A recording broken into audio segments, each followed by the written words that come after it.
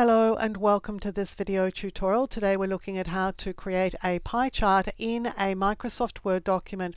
So I have just a regular document already open here and I'm going to put in a pie chart. So I'm going to insert, I'm going to chart here and then from the list of charts we're just going to select pie chart. I'm going to select the simplest pie chart in the list here and just click OK.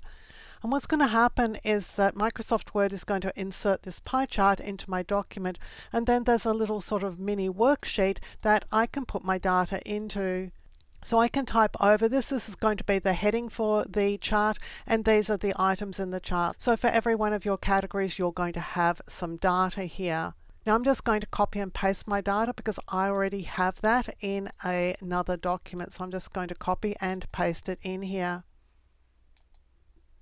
Now you can make your data more readable if you like. So here I'm just stretching out the columns. This works exactly like an Excel worksheet. So now that I've got my data in the worksheet, I can just close this dialog. But if say, for example, I didn't want to include the microwave, I could just decrease the size of the data because this is the selected area that's reflected in the chart. And microwave, you can see here, has now been removed. So you can extend this or shrink it up depending on what your needs are. So this is the basic pie chart. We can do some things to change it. So with the pie chart selected, we have options such as whether the text will wrap around it, which are these options down here, and how it will wrap around. We can also change things like the chart title. So here we've got it above the chart. We could center it or there were other options available by clicking more options. We can also select to add data labels. So we would actually be adding in the actual numbers that are in use here. And you can see the colors reflected in the legend here. Now with the data labels, you can choose where they go. So for example, they could be outside or you could use data callouts. For this sort of chart, that would be a really good idea. But you'll see that for my data callouts, they already have the item or the appliance in them. So there really is no need for the legend down here. So we could simply turn off the legend. That would make the chart a little bit bigger. Now you'll see here that this sort of data caption is pretty close to the title. Well, by selecting the area here, we can actually resize it. So uh, what I'm going to do is click on format and over here, I'm actually going to choose plot area because the chart area is the whole chart, but the plot area is just this pie chart circle. So I'm just going to reduce the size of it, which is going to move this caption here away from the title. Now for every one of these items you can also move them a little bit. So for example we could grab air conditioner. I'm just clicking on it twice to make sure that I have only it selected and I can move it into a slightly different position if the current positioning of it doesn't suit me. So the yellow bit is the pointer into the data and just by selecting the item itself, just making sure that it's the only one selected, you can move it around as you need. You can also change the color of the chart. So we're going here to chart styles. There are different styles of chart that you can choose from and some of them are going to make a bit of a mess of the data we've got here. If we were to choose this option, we would need to move all our little captions around. So you can see that probably choosing the style before you go and do too much work on the chart would be a really good idea because then you'll have less work to do later on.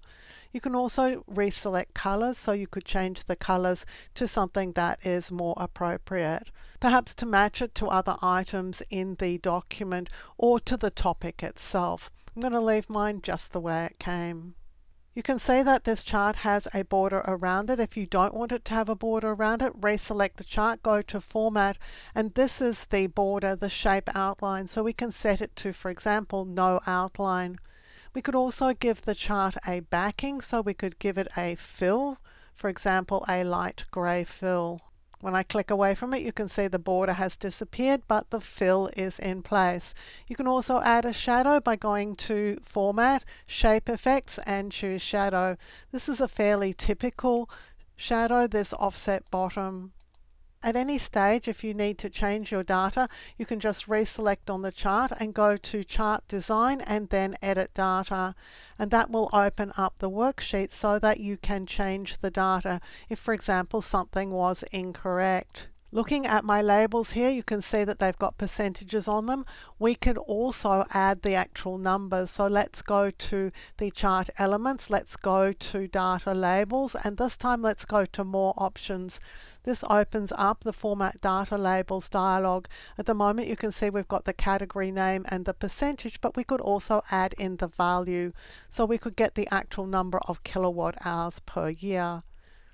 Now, if we were trying to draw attention to something, so for example, draw attention to how much a dishwasher was actually going to be using, which is a little bit surprising here, what we could do is click twice on dishwasher so that you can see that the dishwasher pie slice has little dots around it but none of the others do and we could just drag it out to draw attention to it by exploding that pie chart slice. If you like carefully researched content like this, clearly presented in a step-by-step format so that you can get great results every time, then you'll love my other YouTube videos. So give this video a thumbs up and click to subscribe to the channel. And on the screen now, you'll see a video that I've handpicked for you to watch next.